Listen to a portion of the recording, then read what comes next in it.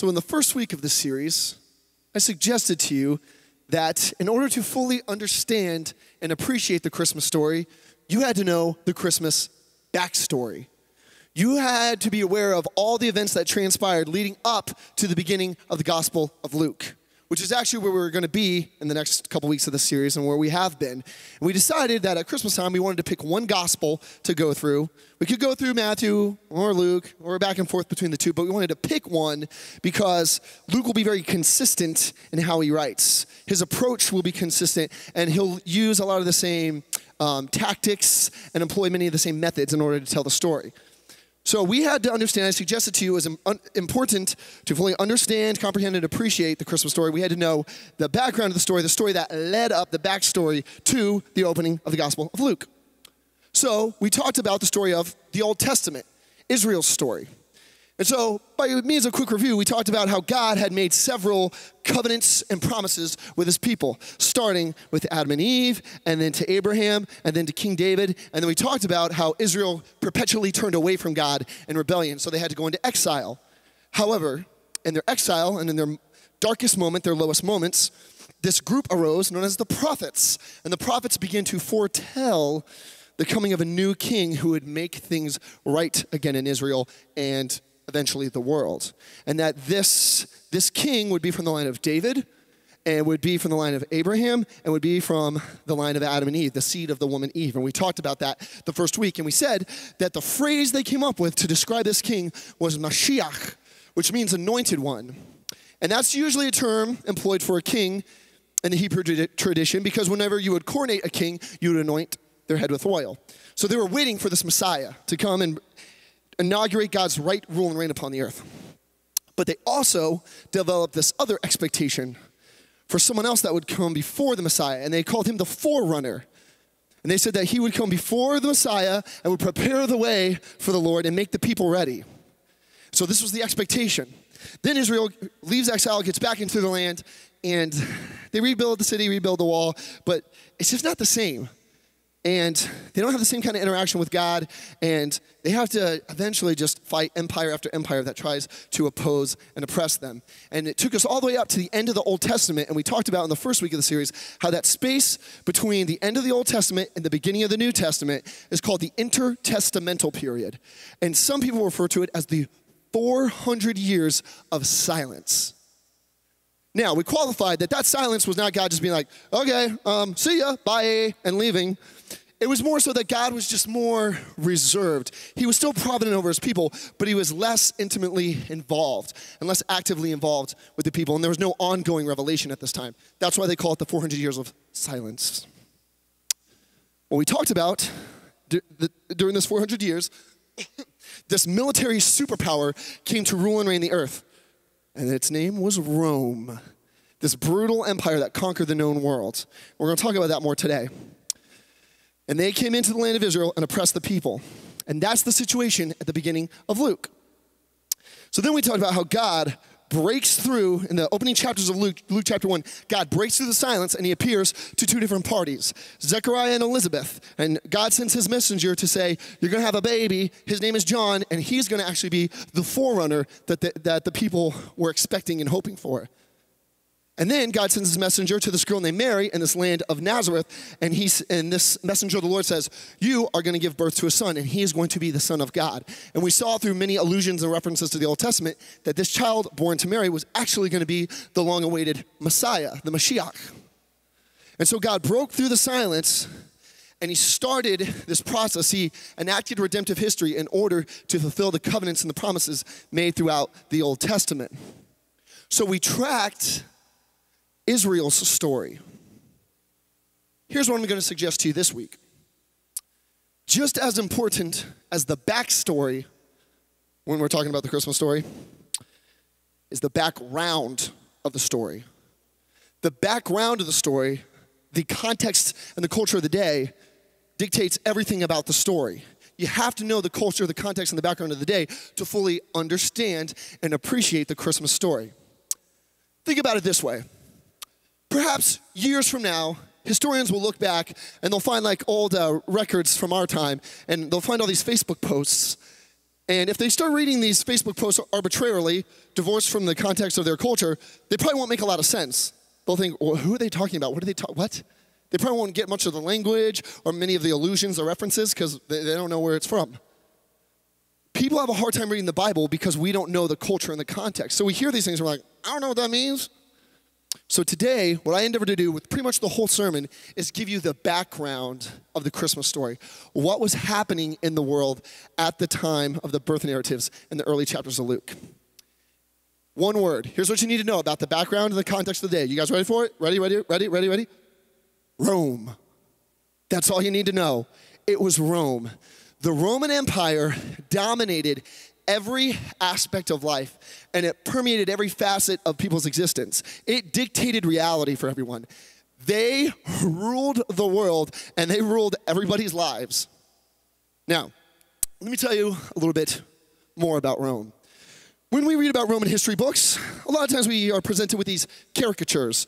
We see these guys in like gold breastplates, and they've got helmets with a with a red mohawk on it, if you're familiar. And they got like the little mini skirt of, that looks like it's made of belts and or like ties. And then they've got the long, tall sandals that only women wear now. So like we see that, we're like, that guy looks ridiculous. Not really scary. Or we'll see pictures of the Caesars, and they're wearing like a toga and like leaves in their hair. Not really intimidating, and you'd think the empire, emperor of the whole world could afford to buy clothes that aren't just bed sheets. So we see these people and we're like, oh, okay, that was Rome, whatever. And we see them in movies, cartoons, history books, etc. What we don't realize is what, why they seem kind of ridiculous to us today. They were terrifying in the days of the early chapters of Luke. Rome was feared unlike any other kingdom, any other empire in the whole world. Rome was a fierce and mighty military machine that destroyed you if you stood in their way. In fact, the Roman army did war better than anybody else in the whole world did war at that time. And they employed two specific tactics. They would use what was known as the shock and awe approach.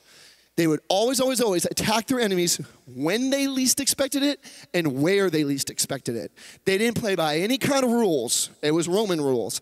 And they would attack you when and where you least expected it. And then once they attacked you, they employed another method slash and burn where literally soldiers would go in with their shields up, spears out, and just slinging their swords. And they cut down whoever stood in their way. They did not discriminate between man, woman, child, slave, free. They didn't care. If you were in their way, you got slashed, and then they would burn your city just to send a message. And in fact, what they would do a lot of times is if someone, in response to this oppression and this attack, tried to lead a revolt, they'd say, okay. And they would confiscate that person and they would nail them to a cross and put them on a hill to send a message to the rest of the people and put them on notice. You don't mess with Rome. Rome was to be feared. This famous historian named Polybius writes about Rome and he says, It seems like everything they do is just for the sake of terror. They terrorized the world so that they would, the world would fall in line. And Rome believed that the path to peace in the world was through domination and conquest and institution of the Roman way. And they believed that victory, ultimate victory, came through violence.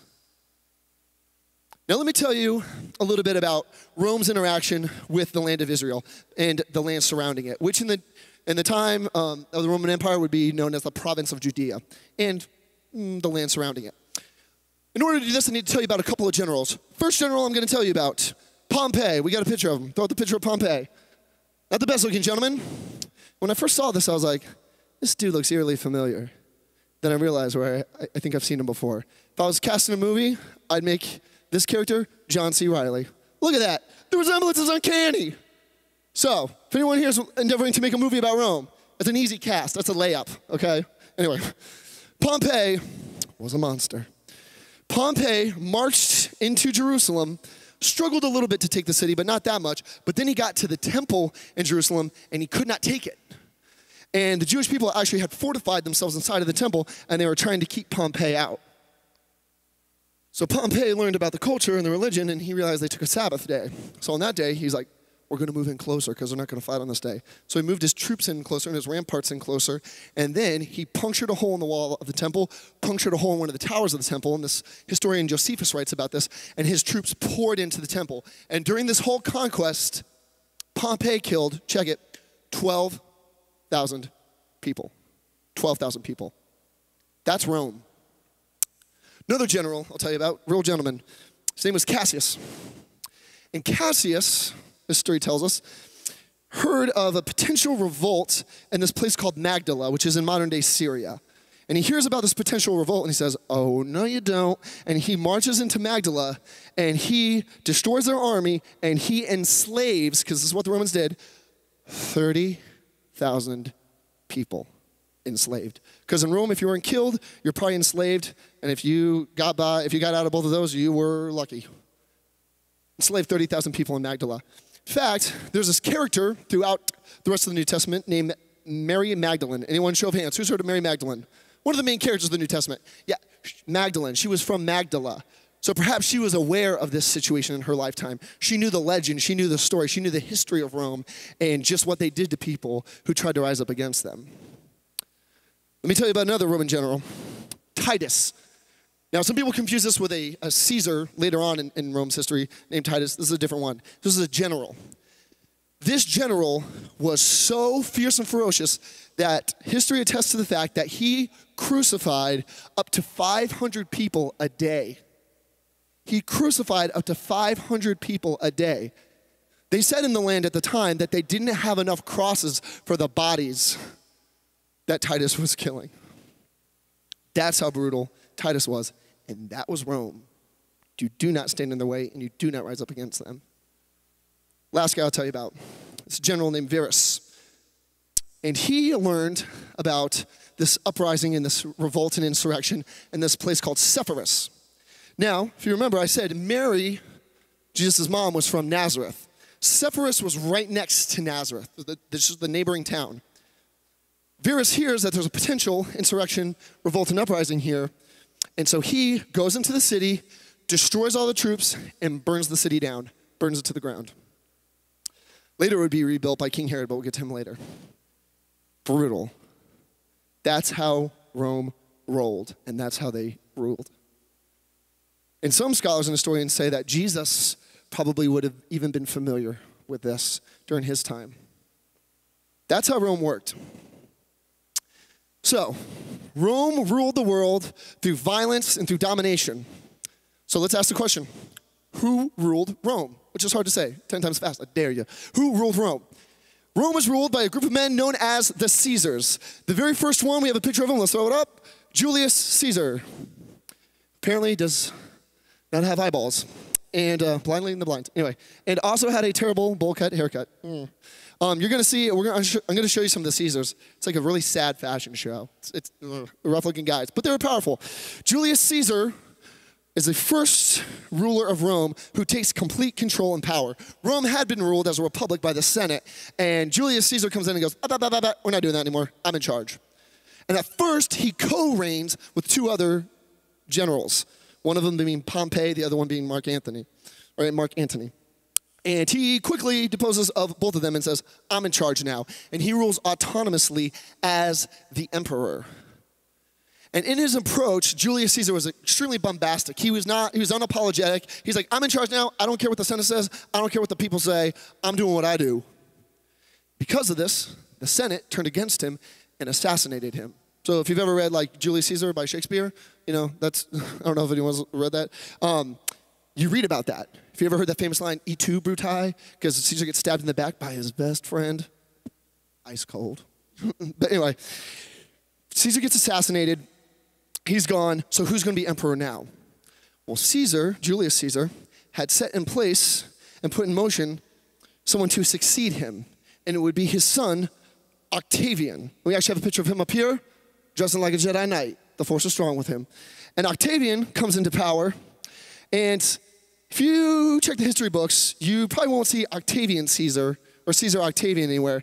It's because the Senate actually changes his name. He becomes known as Caesar Augustus because Augustus means the august one or the respected one.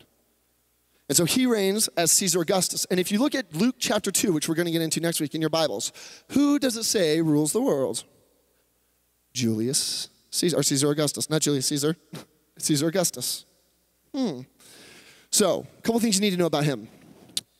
Four months after the death of Julius Caesar, he notices Octavian, or now Caesar Augustus, and other people in Rome notice the star in the sky. This very curious looking star. It's a very bright star. It's got even like a little tail on it, and they don't really know what to make of it.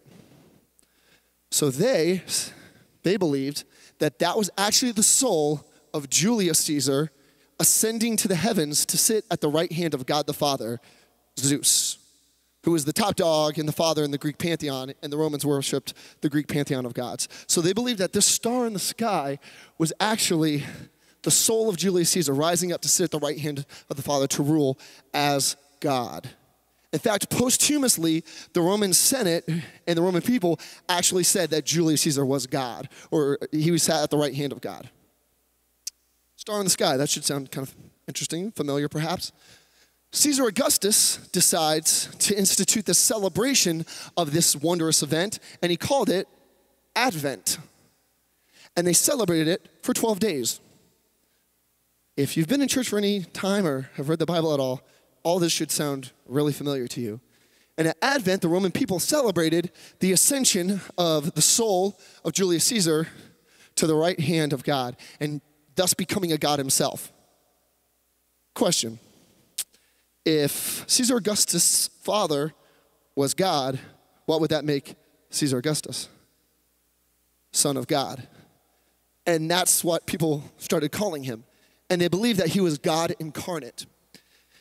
Later on in his reign and rule, the Roman Senate and the Roman people totally assented to this, called him the high priest and mediator.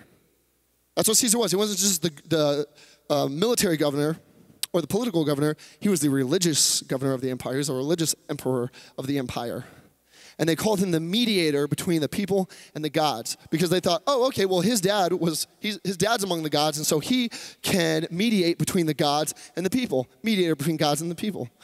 Hmm. Son of God incarnate, who is high priest and mediator. That should sound familiar if you've ever read your Bible. Curious. Now, the very beginning of Caesar Augustus' reign, he started this propaganda campaign. It was called poetic propaganda. He employed these various writers and poets to start writing things about him. And he, was, he would slip them, I mean, they were well paid too, so he'd slip them some money and say, hey, tell the people some things about me. Make sure it's really nice though. Okay, buy yourself something nice. And so he recruited all these various poets and all these various writers. One of them, if you've ever taken a history class, history of Western civilization or anything like that, you have probably heard of him. He recruited this guy named Virgil, who wrote this grand work called the Aeneid. And in this book, or in this, this collection of poems, Virgil writes some pretty flattering things about Caesar. He says things like Caesar Augustus is the divine king of salvation who will bring about a universal reign of peace. And he will eventually bring about a renewed humanity. Huh. That too should sound kind of familiar. Hmm. Then, in response to this campaign, people started writing songs about Caesar. And we actually talked about this in our last series, Timeless. And these songs in Greek were called hymnos. And people would sing these songs to Caesar and celebrate his greatness. And in one of the songs, there was this very popular, very famous line that said that salvation is found in none save Caesar. Again, if you've read the Bible, that should sound eerily familiar to you. So, as Caesar Augustus is trying to spur at his popularity and grow his popularity, it starts to work. And the saying of the day became Caesar is Lord. People said it throughout the empire. In fact, some historians say that became a greeting of sorts. Like, hey, how you doing? Caesar's Lord. Hey, talk to you later. Caesar's Lord. It became the new hello. That's how pervasive he was in the society. And then to make sure this message was communicated, he, and to make sure that everyone knew that he was ruler of the world, he decided to print his face on coins. We have a picture of it. Hopefully, it's his good side. He printed all these coins Because in the Roman Empire, if you wanted to communicate a message, the best way to do that was to print it on a coin because it would spread throughout the empire. Think about how money works. So if you wanted to communicate a message, put it on the coin and it will get all around the empire because they didn't have, you know, the internet and phones back then. And on some of the coins, let's switch to the next one. On some of the coins, it would just say things like Caesar is Lord. And on some of the coins, one up there says it, it says Augustus, divine. So the belief of the day was that Caesar was the Son of God, God incarnate. It was to be worshiped as a God. And in fact, whenever Caesar Augustus would have any kind of a military victory or expand the empire in any, in any way, or if one of his generals would conquer a town, the people would erect an altar and a statue to Caesar, and they would gather around it and they would celebrate the victory of Caesar and the greatness of Caesar. And these gatherings were called ecclesia, which in Greek means gathering, assembly, or called out ones. Interesting. We'll circle back to this later. So you had this man who's claiming to be the Son of God, God incarnate. People are, are saying he's Lord, and people are meeting in these gatherings called ecclesia to celebrate his lordship. Hmm, interesting. Last two things you need to know about Caesar Augustus. Now, this is historically attributed to in a couple of different places. Where I found it is in this work called The 38 Acts of Caesar Augustus. It says that in the time of Caesar Augustus, he issued a decree for a census of the whole world. Now, here's why. Here's what a lot of people don't know.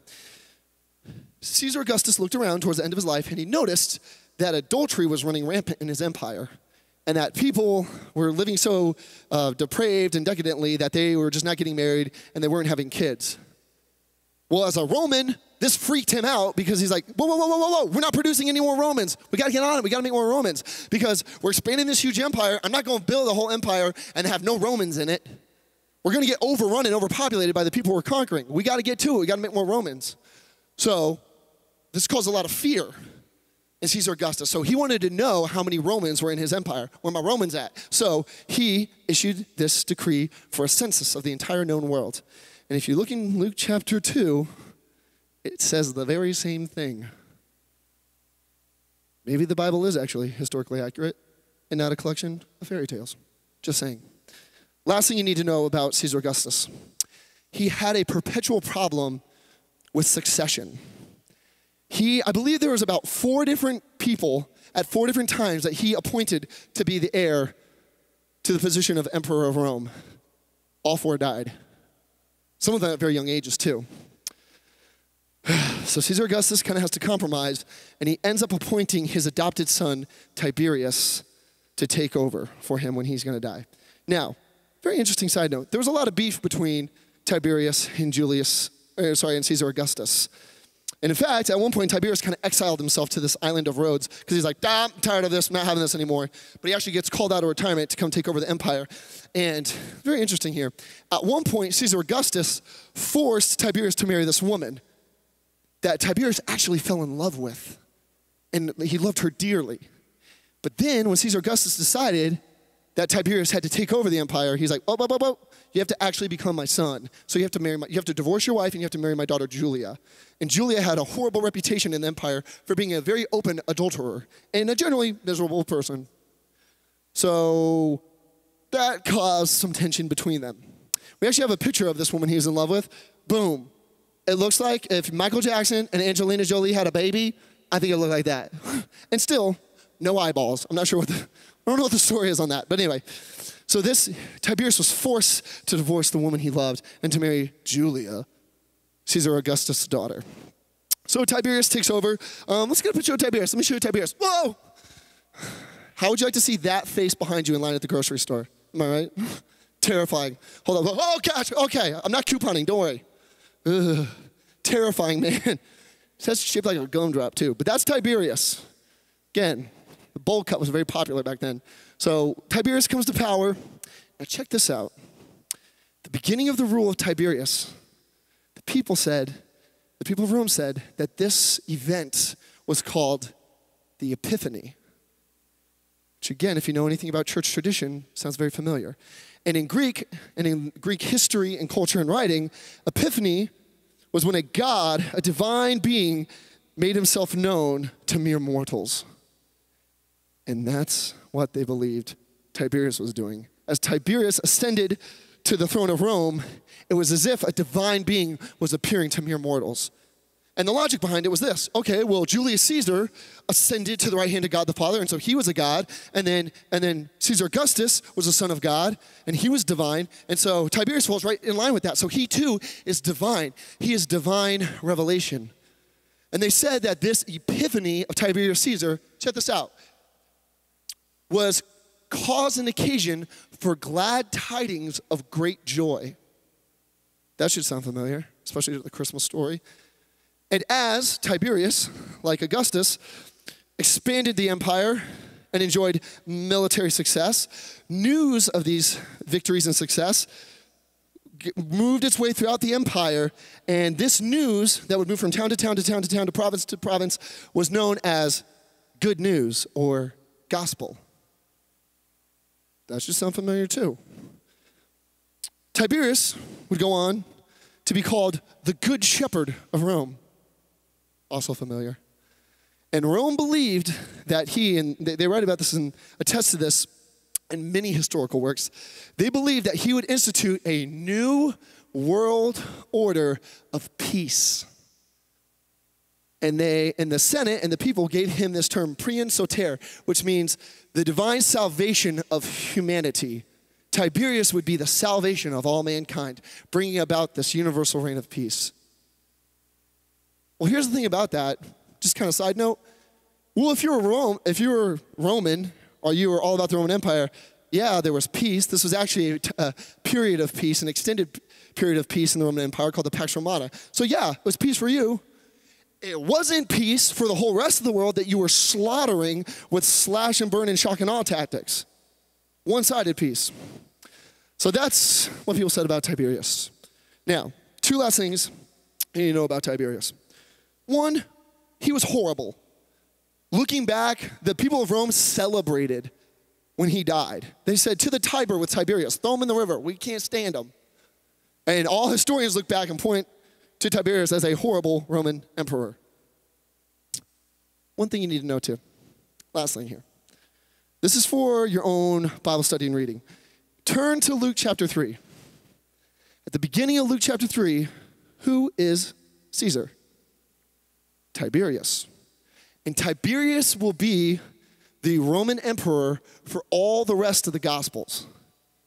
So anything that happens in the life of Jesus outside of the birth is going to be under the rule and reign of Tiberius, this horrible, horrible Roman emperor who thought he was God incarnate, high priest. This will aid you in your Bible study because you have a new lens to read the Gospels through. Because you know who is claiming to be the divine king of salvation, the salvation of all humanity, this oppressive man named Caesar. So take that with you. That's a little side note. Just put that in your pocket for later when you're doing your Bible study. Now, last person I need to tell you about this guy named King Herod. We have a picture of him up here. Finely manicured beard, luscious locks, and a Princess Leia haircut. It's terrible. So, you guys are rough looking. King Herod was not a Caesar. He was a king of Israel, and he actually deemed himself king of the Jews. Now, you might be thinking, whoa, whoa, whoa, I thought Caesar ruled the world. Let me explain. Caesar would go from town to town, country to country, conquering, slashing, killing, destroying, and he would establish his reign and rule. But Caesar couldn't rule all the nations, so they would appoint a king that usually came from the people group they were conquering, and so that the people would feel like they have like an autonomous sense of independence and government. But these kings were just puppet kings. Oh, do what Caesar says. They, they, they weren't actually good kings. They were just controlled by Caesar. And that's exactly what King Herod did. Now, a couple things about King Herod. Again, this will impact how you read these initial chapters in Luke. Because King Herod is king over all of Israel. And especially, he does a lot of stuff in Jerusalem.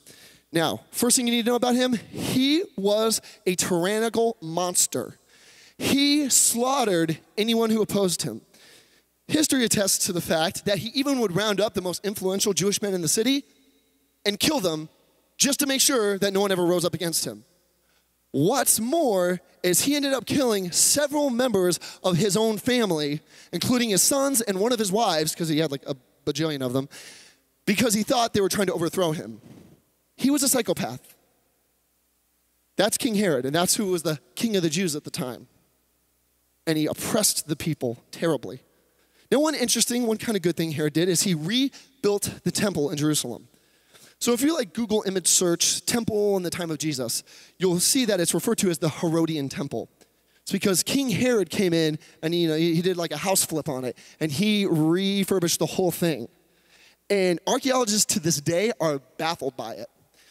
The temple was made of these large stones made of marble called Herodian stones. And what, and what archaeologists find fascinating is that they can't find any archaeological evidence that they cut these stones on the Temple Mount. So, what they're thinking is that Herod made these huge stones somewhere else and then shipped them into the temple, and they still had to, to this day have no idea how he did it because these stones go so deep down into the ground.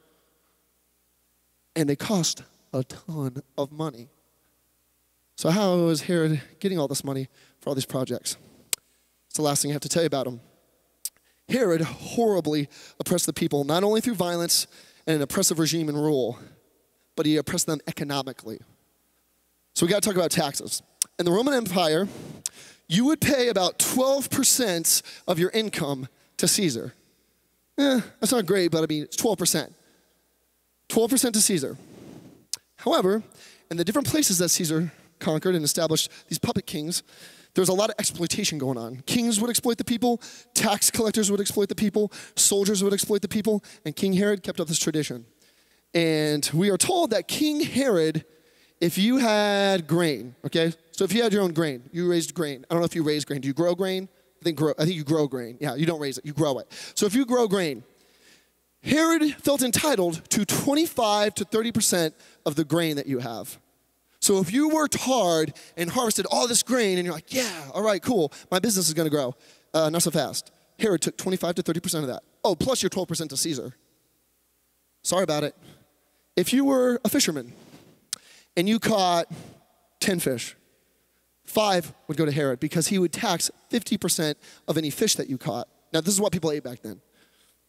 So Herod instituted all these additional taxes. What's more, to pay for this expensive temple, there was a temple tax that you'd have to pay if you wanted to participate in the religious life of Israel. What's more is you had to pay a tithe, and even more than that, certain times a year, you had to pay a special offering or give a special offering to the temple.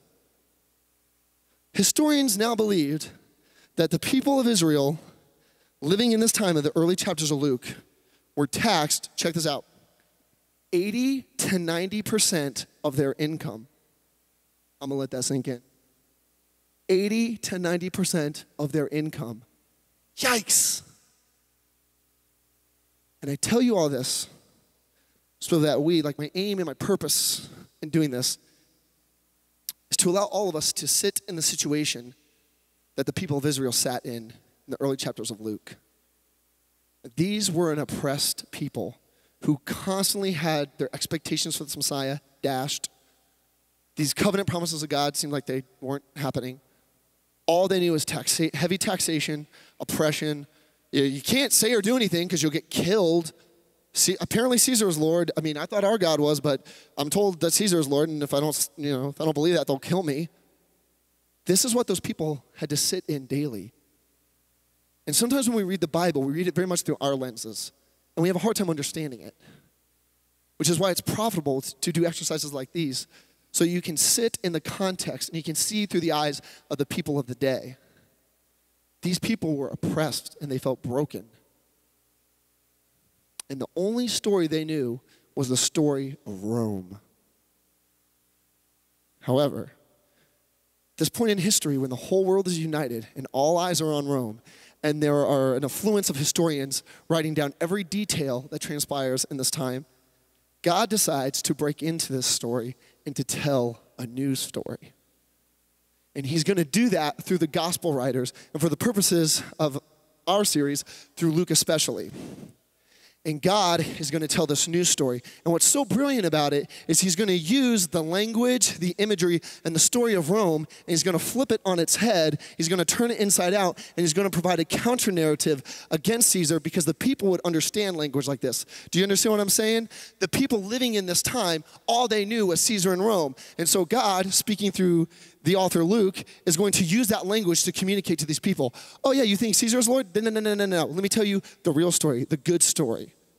And so that's what we see here in Luke's story. So anytime you open up to the book of Luke or any of the Gospels, you should see a stark contrast between Rome's story and Luke's story.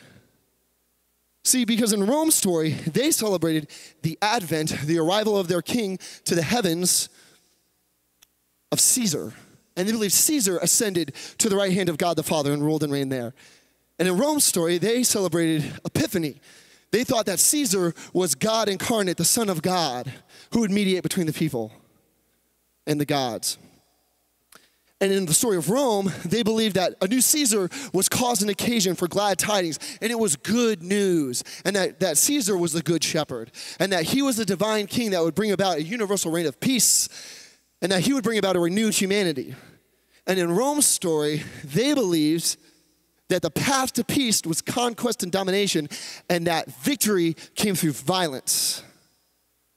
And that's all these people knew. But in Luke's story, and thereafter, throughout the rest of the New Testament, we are told a different story, a better story, the real story. And we celebrate the advent of Jesus Christ not later ascending to, to the right hand of God, yeah, but actually coming down from the right hand of God. And we celebrate that advent. And we celebrate the epiphany of Jesus Christ, the divine appearance of God incarnate, the Son of God. It's actually a season in the life of the church, Epiphany. It's coming up in like a month. And we believe that Christ's birth is cause and occasion of glad tidings of great joy. And we believe that that is good news. And we learn later in the book of Luke and thereafter that it is Jesus Christ who is actually the good shepherd and that he is the divine king of salvation that will bring about a universal reign of peace and bring about an eventual renewed humanity or what Paul would later call new creation. And in Luke's story, it's not the path to peace is not about conquest and domination, and victory doesn't come through violence. In Luke's story, the path to peace is following the way of Christ, and that victory comes through selfless love and sacrifice and grace and mercy. That's Luke's story. And in Rome's story, they believed with all their hearts that Caesar is Lord. And they would gather around these altars and these statues, and they would form these groups called ecclesia, gatherings and assemblies. And they would celebrate the victories of Caesar, and they would celebrate Caesar's goodness. And they believed that this empire and the whole world was inclined towards the powerful and the wealthy. But in Luke's story, hmm, they believed that Christ was king, and they believed that Jesus was Lord. And they would gather together in these assemblies these groups called ecclesia, which, if you read the New Testament, that is the Greek word for church. Ecclesia, the gathered ones, the called out ones. And they would actually celebrate the victories of Christ and the benefits thereof. And they would celebrate the goodness of God in sending his son, Christ, to rule and reign upon the earth and institute his kingdom of heaven. And this was an empire, this kingdom of heaven, this kingdom of God, that was not inclined towards the powerful and towards the wealthy, but it is actually inclined towards the poor and powerless and mindful of the lost and the lonely. And in fact, to emphasize this, the first sermon that Luke gives us from Jesus speaks directly to this marginalized group of people, this poor and powerless. And we see it in Luke chapter 4. Jesus is in his hometown, Nazareth, and he stands up in the synagogue amongst all the religious rulers and all the people he probably grew up with. And he grabs this Torah scroll, unrolls it, and he starts to read from Isaiah 61. And this is poignant and powerful and very intentionally placed here. And he says, The Spirit of the Lord is upon me and has anointed me Time out real quick. In Hebrew, the word anointed is Mashiach, which is where we get our word Messiah, which I told you about earlier in the sermon. And a lot of scholars and theologians think that this was Christ's initial claim of Messiahship. And he says, The Lord has anointed me, check it out, to proclaim good news to the poor. He has sent me to proclaim freedom to prisoners, recovery of sight to the blind, and to set the oppressed free, and to declare the year of the Lord's favor. And this was Jesus' inaugural address for the kingdom of God that he was going to preach throughout his whole ministry. And if we keep in mind the audience of the day, the people living in the land of Israel, in these first couple of chapters of Luke, This was good news to them because they were an oppressed, marginalized, poverty, poverty-stricken people. And they thought that God had forgotten them. So maybe you're in a similar spot today. Financially, emotionally, health wise, you feel like you're poor, poverty stricken, you have lost a lot, and you may have, maybe you feel like God has forgotten about you. But this good news that the true king is proclaiming reassures us that God has seen us and God has heard us and God has not forgotten us. And as Christians today, we can take courage and confidence in the fact that we actually know the end of the story. Rome does not have, Rome, the empire, the violence, the greed, the system of oppression, does not have the final say. And Rome does not last. As a matter of fact, the only kingdom of this earth that has lasted and persisted is the kingdom of God that Jesus inaugurated in this sermon in Luke 4. It has continued past Rome, it continues today, and as a church, we are part of that. It will go on after us, and we're actually waiting still for the second advent, the return of Christ, to fully consummate that rule and reign of the kingdom of God on earth as it is in heaven. And this is what the church has waited on for years and years and years, and will continue to wait on until Christ returns again. But do you see the victory here? Rome doesn't win, which was great news for these people because they go on to learn, and the Christians that will come after them, they learn that actually Jesus wins. And so in the early church, they had this, mm, what some people call a teaching, some people call it a theory. I call it a rallying point. And we never hear about it in churches today. I've literally never heard it discussed in church. It's called the Christus Victor. Christus Victor is Latin for victory of Christ. And the early church celebrated this weekly, and they held this up. And in the Christus Victor, they believed that Jesus not only had victory over the empires and systems of oppression of their day, but they believed that he had victory over the personal sin in our lives that caused those systems, that snowball and get ahead of steam and, and turn into those systems. And even more than that, they believed that Jesus had victory over the powers of evil and darkness in the world and even hell itself. And the early church actually lived this out. And so they didn't fear Caesar and the empires and the systems of oppression because they said, oh, okay, do what you want. But Jesus has the victory. Christus victor, victory of Christ. And in fact, about two or three Caesars later from where we were today, Christians are persecuted and they're like, that's fine, Christus victor, victory of Christ. You don't scare us. And the early church, they didn't fear their personal sin because they knew it had been taken care of on the cross and they had right standing with God and were filled with the Holy Spirit. And they knew that through Christ, they had victory over that sin that plagued them and that rebellion that seemed inherent. And they didn't fear it and they knew they had victory over it. And what's more, they didn't fear the evil powers of the day. They didn't fear the devil around every corner because they believed in the Christus Victor, the victory of Christ. And maybe you never heard about this before, which I think is unfortunate because what would it look like if the church talked about the Christus Victor more? Perhaps we would not fear the empires of our day or the systems of oppression or the greed and anger and violence in the world because we would say, Christus Victor, victory of Christ. We're not afraid. We know which kingdom actually lasts. And maybe as a church and as individuals, we would not fear our personal sins and shortcomings or think, oh, I can't shake this thing or I, I can't break this addiction or turn away from this pattern of living. Maybe we'd actually have confidence that through what Christ did on the cross, we have, we have right standing with God, we are filled with the Spirit, and that we can change, and that Christ has the victory over that sin in our lives. So we don't need to fear it or feel defeated by it. And maybe we wouldn't fear the powers of evil and darkness in the world or see the devil under every rock or around every corner and being like, my car broke down, that devil got me again. We wouldn't worry about that because we're like, Christus Victor, victory of Christ. So today, Hope Church, that you realize that Jesus and not Caesar is Lord. And may we gather together as the ecclesia, the church, the gathering, the assembly to celebrate the victories of not Caesar, but the victories of Christ and the goodness of Christ. And as an ecclesia, as this community of people, may we be a community that is inclined towards the poor and the powerless and mindful of the lost and the lonely. And especially at Christmas time, as an ecclesia, may we celebrate and remember the first advent of Christ, the coming of the true King. And may we eagerly await with preparation and peace for the second advent when Christ will return to bring God's right rule and reign on the earth once for all.